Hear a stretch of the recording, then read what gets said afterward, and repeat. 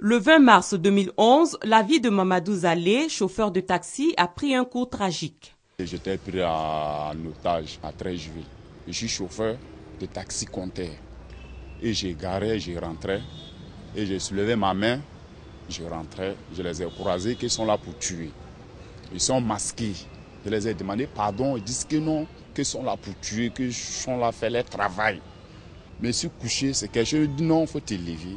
Mais suis levé, commencé à courir. En courant, il a rafadé sous moi. Ça a pris mon pied gauche. Depuis cette blessure, Mamadou ne peut pas s'adonner à son activité principale, celle de chauffeur de taxi. Ils n'ont pas enlevé toute la balle.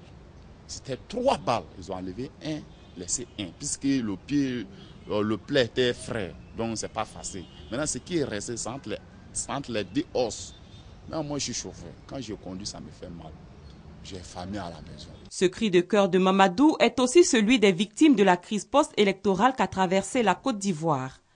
Réunies au sein du CVCI, le collectif des victimes en Côte d'Ivoire, elles espèrent un écho favorable auprès du corps diplomatique. Des veuves aujourd'hui se retrouvent avec cinq ou six enfants sans assistance.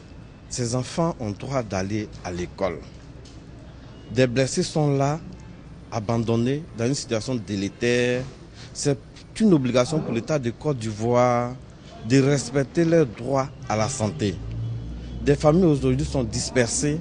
Le droit à la famille doit être appliqué et respecté par l'État de Côte d'Ivoire. Ces victimes, qui comptent parmi elles des orphelins et des personnes ayant subi des violences sexuelles ou victimes de troubles psychologiques, attendent désormais une chose, la réparation des dommages subis.